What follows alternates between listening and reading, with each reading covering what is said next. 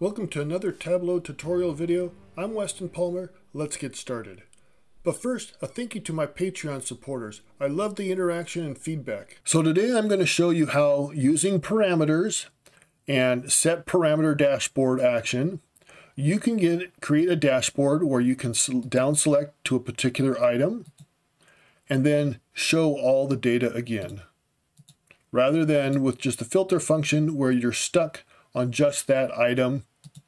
This is going to allow you to show all the items after you deselect, after you clear the selection.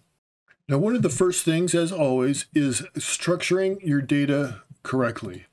I'm going to come look at the data source, and I've already created a clean data source for this demo that has the price change already calculated in here. It's got the price, the previous price, and then calculated the price change. If you try and calculate this using a table calculation, it's not going to work because you need to have each row needs to have this price change. So this you can do this in Tableau Prep. You could probably do this in Tableau Desktop, uh, joining data sets upon themselves. Now that we're at the dashboard, what you're looking at here is this is the price change over time. And this is the quantity uh, changes. So in this case, we had a 0 to 50% increase. There was one item. This has two of those items. And looking at the price change chart, there is, you just have the month and the count of the item and then the color. It doesn't have the item itself. What I want to be able to do is select, because it's kind of messy, and if you had more data points, it would be even, uh, more items, it would be even messier. What I want to be able to do is select here and see that price change for that part. One of the things that you start with is you say, okay, well, I'm going to filter on using this chart. Problem is when you filter, you only see the one data point for that month and you only because you only see one of those months. You could come in here to actions on the dashboard actions. Here's the filter here. Let's come and edit that. We're going to, we only want it to chart, target the price chart. We want selected values and let's just say price bucket. Bucket. There we go. And so when we select this, it gives us uh, some things that have some price changes. Uh, this has two items, but this is showing four items.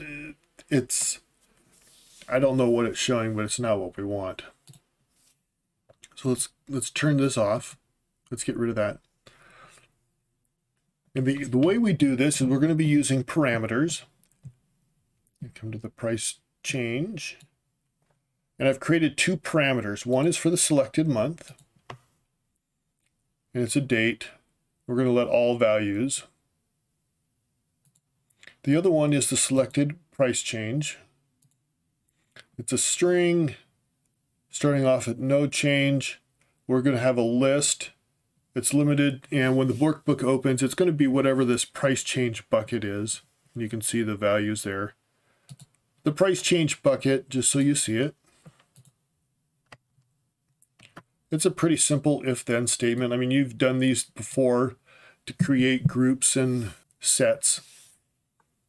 Depending on what the price change is. Oh, misspelled. I'm going to leave that because otherwise it's going to screw up the colors and everything. uh, show the parameter.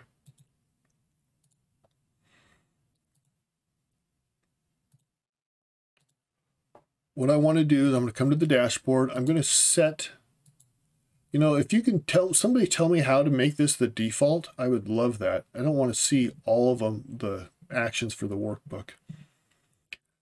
So here are the set parameter actions. Just giving it a name, when we select on the price change, we're going to select the month. Um, source field is a month. Click OK. Now we're going to do the price bucket. Same thing, we're going to change it for the price change. We're going to set it equal to the price change bucket. And now as we select the different items, you can see down here, we selected February 1st, 2024, no change. 11 20 11 1 2023 10% decrease. Now that we have these items we can use that in a filter. Let's come to the price change. And I've created a calculated field over here. You know this is a fixed function because we were looking at the item level. We want this to return a value so that we're showing not just one data point. We want the entire item to show up. And what we do is inside this, the if statement, if then statement says, if it's the selected month and it's the selected price change, right? If that meets, makes, matches those parameters, then we're going to say, yes, true. We want to see that line. Otherwise, we're going to say false and then end. So that's going to say, what it's going to do is you come across here, it'll say, was this a change? No change. Um, so this would be say false, false, false, false, false, false. If this was changed, then it would say, okay, yeah, this is a change. True. This was the one that's selected. This is true. False, false, false, false, false, false. And even over here as a change, we'll say false. But because we have this max, it will pick of all those values, it's going to pick the true, which happens to be alphabetically, it's the max. And if you had a one and a zero, true would be selected as well. So that works out nicely. And so we will show that item. And we're going to bring that onto the filters. We say false right now. So we'll need to come here. So nothing shows up. Let's click this. And now we'll come back to the price change, price chart, edit the filter, and we'll select true. And so now it shows us the two items that had a change or the three items that had a change. With them overlapping, it's sometimes difficult.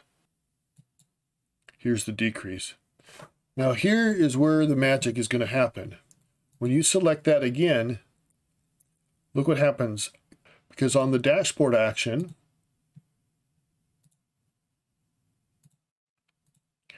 I said when we clear it, we want to set the value to the first of 2020 of 2000. Now, the key here is setting it way outside your date range. Maybe it's way out in the future. You could say 1 5000 or 1 1900. The key is you set it way outside the realm of possibility so as your your dashboard will last for you know years to come. When it says 1 2000, that's not even in the data set, so there's no item that is going it's going to be true for that formula. So let's come back here. Look at this parameter, I mean this uh, fixed function. So we need to add something to our if-then statement that says, hey, if it is this 2000, show everything.